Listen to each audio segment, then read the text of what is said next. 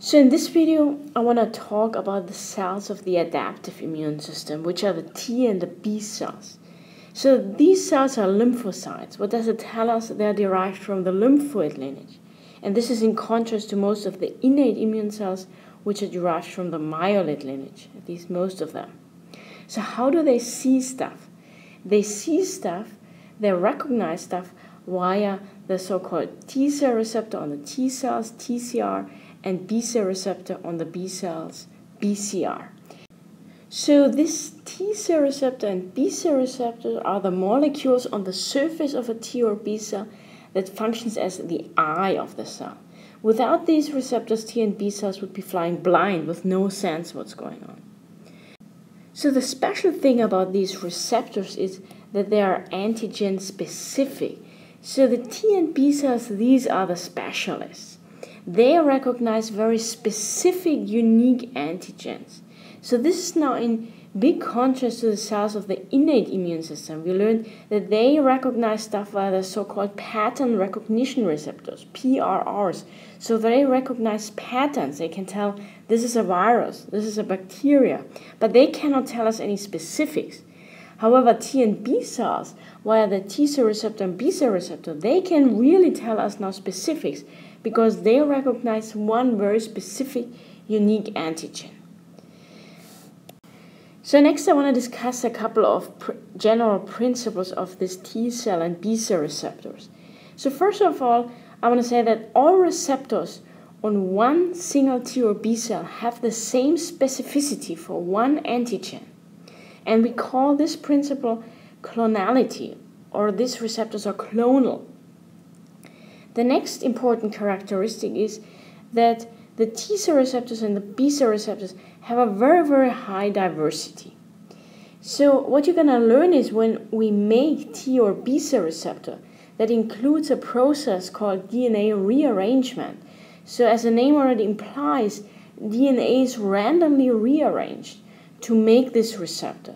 So that's what gives us this huge diversity. And we need this huge diversity because you need to think about the fact that your immune system has to recognize molecules that has never been seen before.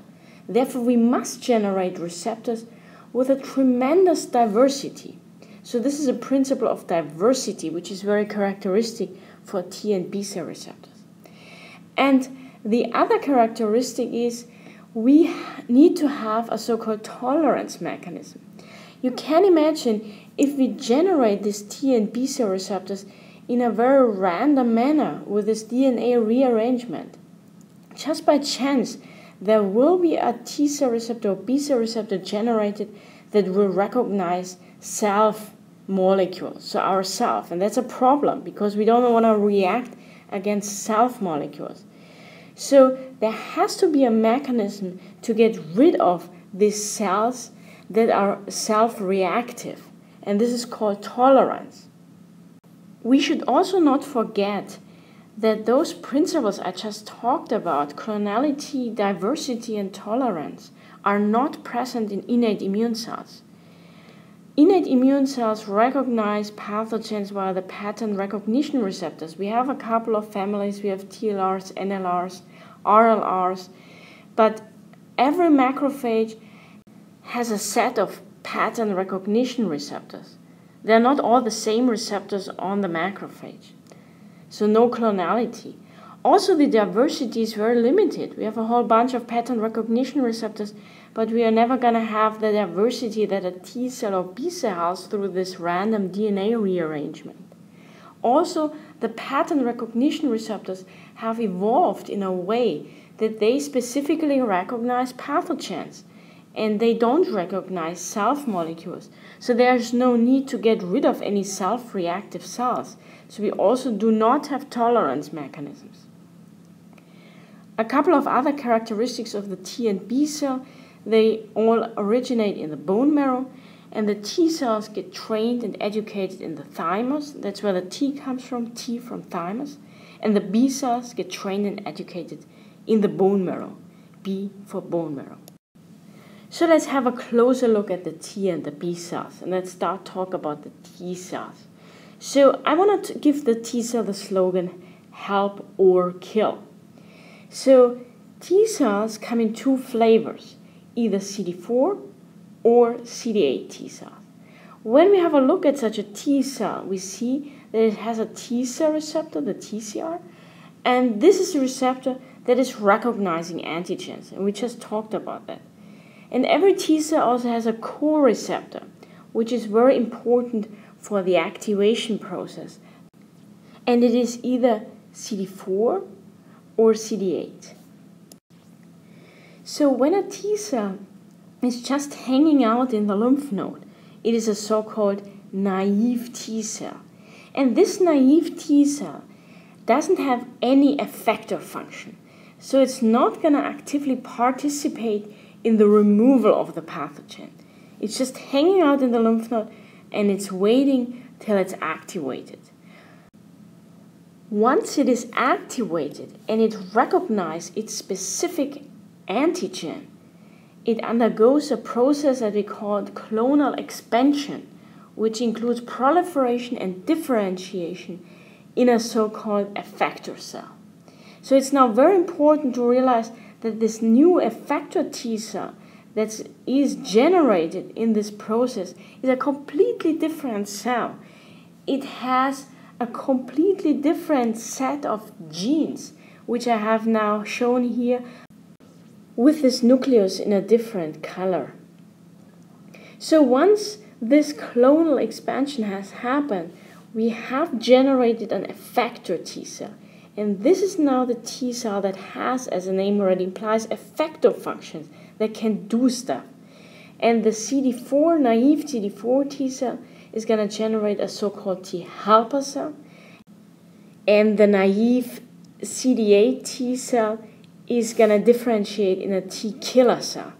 And the effector functions are obvious from the na name. So the T helper cell, we can say it's a cell that helps other cells to do a better job. And the T killer cell, as the name already implies, is a cell that can kill cells. For example, cells that are infected by a virus. So now a couple of other specific characteristics for the T cell. So the T cell doesn't take just any antigen.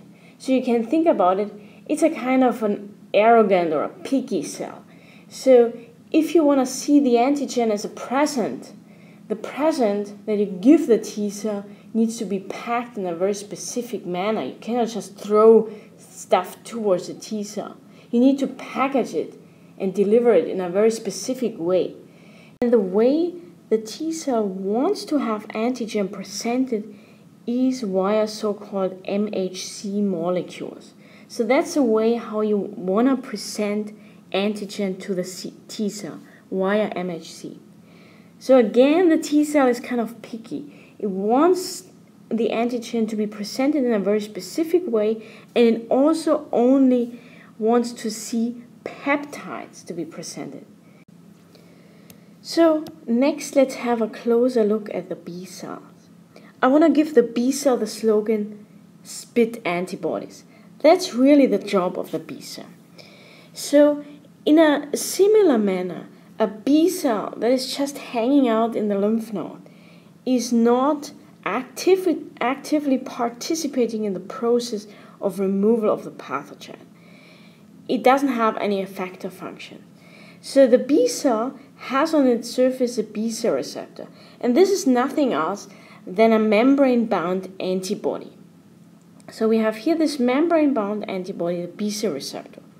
And once this B cell receptor is recognizing its specific antigen, it also will undergo a process called clonal expansion.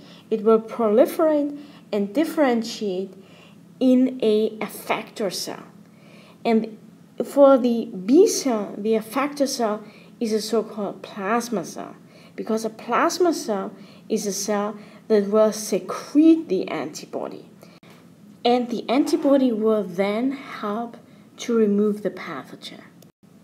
So in contrast to the T cell, which we considered as a picky cell, the B cell is actually a pretty humble cell. There is not this specific packaging necessary. Antigen doesn't have to be presented in a specific way to the B cell. The P B cell is willing to take anything and it even takes up the antigen. This concludes the video on the cells of the adaptive immune system.